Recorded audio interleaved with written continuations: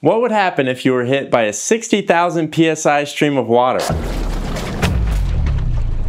And would a bulletproof vest help? You guys commented tons of horror stories on our last test, so today we want to verify them using ballistics gel and then analyze the unpleasant results using super slow-mo.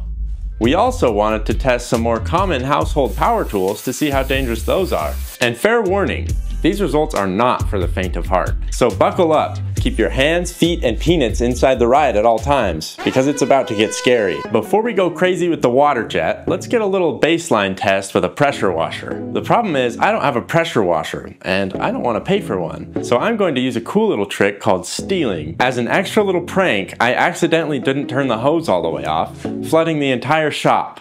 I wish that was a joke.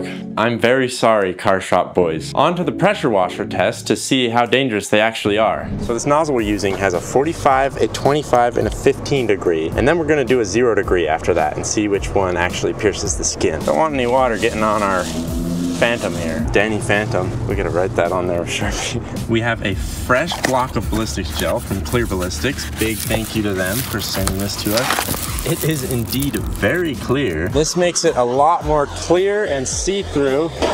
When we're done, we should do a high pressure fire test. That's stupid. Let's not do that. You're stupid. Well, you're the one with overalls and it's 95 degrees outside. Nuh-uh. All right, here we go with the 45 degree angle so gentle. What's the pressure washer doing? That's mist mode. What is it doing? Local man shoots himself in the face with a pressure washer. All right, we're gonna forget about the 45 and skip to the 25 because it doesn't work. And it probably wouldn't really do that much damage anyways.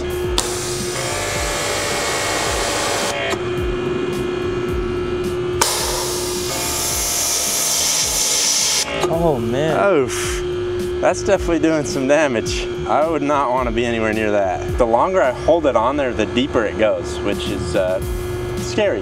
Yeah, do you want to put it closer on the 15? Like touch it? That's a ton of water.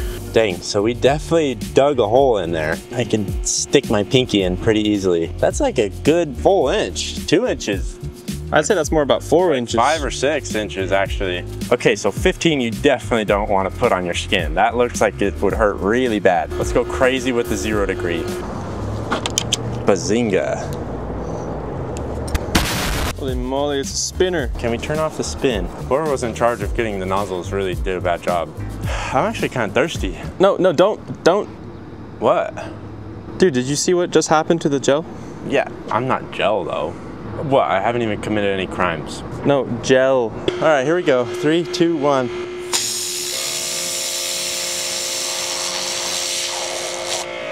That was fun. Um, so that definitely did a lot of damage. Because it's the rotating nozzle, it did like a whole cavity, whereas the 15 degree kind of just dug a hole straight down.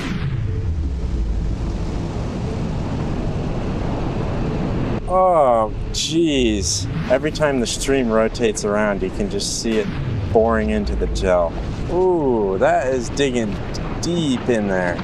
It's kind of beautiful. Maybe that's just because it's in slow-mo. Oh, that's horrifying.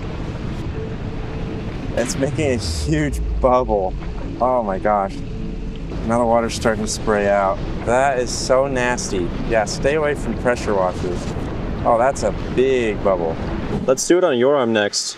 Um, I gotta go feed my dog. Hey, you don't even have a dog.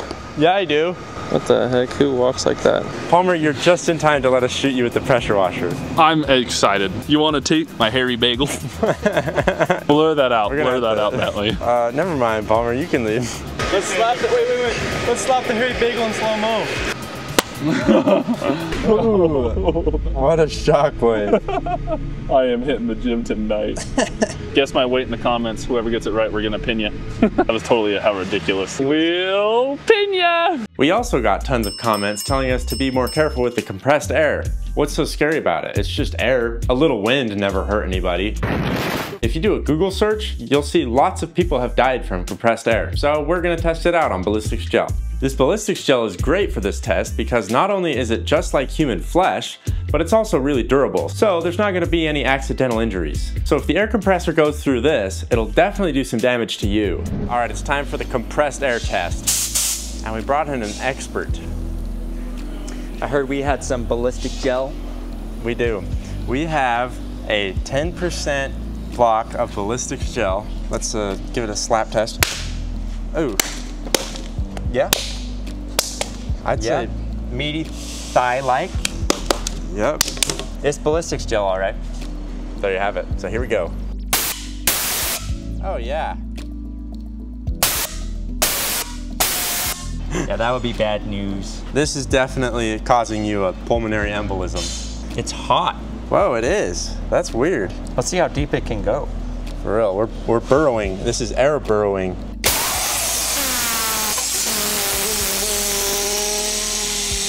I think it's safe to say we could go all the way through if we wanted. I mean, it might not go as deep in human flesh, but you gotta think about all the veins and arteries and passageways that your body has that ballistics gel doesn't. So, I mean, pick your battle there. Well, I don't know if it was worth flying you out here, Elliot.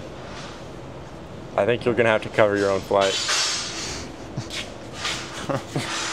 Let's see that in slow-mo. Oh, it's making an air bubble before it even touches. That's why it's so dangerous. Oh, there it entered. Oh dear, it's flapping. Look at those shock waves. Yeah, going through all the gel, and it just burrows through easily. Wow, that's terrifying. Daniel from the future here. We want to connect better with you guys, so we set up a free Patreon, and we're going to post our Discord on there. So go click the link in the description. Time for the high pressure fire test. Oh, oh. That hooded.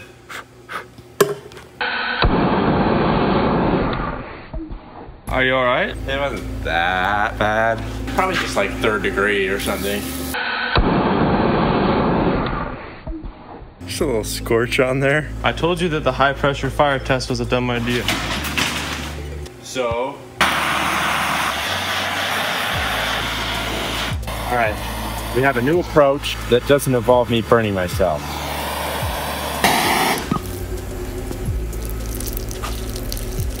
This might light on fire. All right, let's put this thing on the jet and jet it up. My uncle also told me a story from when he was a miner, uh, the kind that digs, not the other kind. He told me they had hydraulics to hold up the walls of the mine, and if they had a little leak the size of a pinhole and you swiped your hand in front of it, it would swell up your whole arm like a balloon. And he said that was at 5,000 psi. So 60,000, 12 times the pressure. Let's see what that does. I'm just gonna turn the water on for as short as a time as possible as I can, just to see what happens. Three, two, one. Wow. At that tiny amount of time, it went all the way through. Man, that was so fast. And there was no garnet on, right? Yeah, that was no garnet, pure water only. I want to see how that looks in slow-mo. So we shot this at 40,000 FPS. It's pushing it for these indoor lights, but we really wanted to see every detail. Oh, ooh.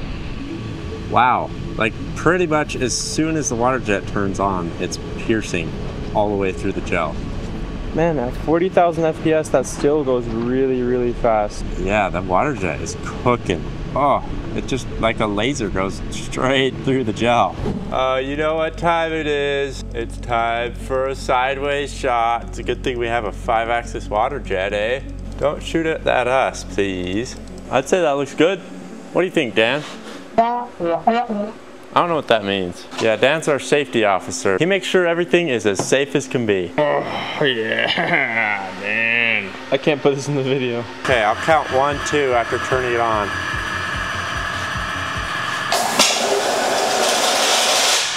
That was a weird noise. Oh my goodness. Get a view of the top. That's insane. And it blew out down here. It's not that big of a hole. Oh, that's hot. The water jet comes out like boiling. So you can see like at first, as the stream is pretty strong and consistent, it's a very solid line. But then as it goes out, it starts to spread and get more destructive and nasty. So I'm really interested to see how that looks on slow-mo. Oh, here comes the stream. Wow, that kind of, oh, it's like boring. Not in the way your mom is, but the way a drill does. Wow, and it's like stopping and filling up like a balloon. This is so interesting. How it, that each bubble gets bigger as it goes on. Let's fast forward a little. Oh, when it's playing faster, you can see the pulsating. Oh, it's getting close to the end. Just about. Oh, there it goes. You can see the ballistics gel held on for just a second. Yeah, imagine this happening in your torso. You don't want that to happen in your torso. Well, that's why I have this vest on, right? Oh, yeah. Let's see if you can protect yourself from the water jet with a bulletproof vest. I have here some Kevlar plates. These are bulletproof. Roll the clip. That was the first day we ever used the slow-mo cameras and it was rough. The question is, can it stop a water jet? We're just gonna do this red one because it's the thickest, just like your mom. And we'll see if it can stop the water jet. So it's going to be the same as the other tests, just on and off as fast as you can, right? Yeah. Gosh, I thought you were Dan again. Here goes the Kevlar. All right, I'm in the splash zone here. Okay, I'm powering up the pump. All right, this is just gonna be a very brief on and off, just like the first one. All right, three, two, one. No way. Holy moly. Wow, that Kevlar didn't stand a chance. That might have made it worse to have the bulletproof armor on because I think as it went through the Kevlar, it kind of disturbed the water more and made it fan out more. I can't believe I'm saying this, but you'd be worse off wearing a bulletproof vest in front of the water jet. So this is the entrance wound right there. That's how precise the water jet is. That's the exit wound, so a little bigger. Well, let's watch that slow-mo. About to turn on. Oh, here it comes. Wow, okay, so there's a big initial burst out the sides and it holds off for a little bit. So maybe depending on how long you're under the water jet, this could help you out. But keep in mind, this is no garnet. The water jet is almost always running with garnet, the abrasive in it. And that makes it a lot stronger. It'll cut through a lot more with the garnet. Okay, so it is holding its ground. The stream has not gone through the Kevlar to the ballistics gel yet. Maybe we should look at the real-time footage and see how long it holds off. Let's fast forward until it bursts. Oh, that jet of water right towards the camera is not very nice. Okay, and then it bursts and goes through. That water is right in the way, but you can still clearly see the stream just going through immediately. So it looks like the armor does help for a couple milliseconds at least. Craig said the only way we could film this video was if we cleaned his sign for him.